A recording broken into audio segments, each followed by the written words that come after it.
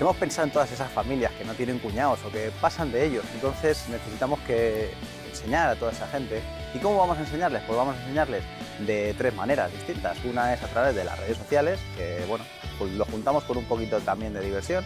El otro es un canal escrito a través de un blog y el tercero y más importante yo creo que es el canal de YouTube, que es gracias a, YouTube es que podemos estar en todo el mundo.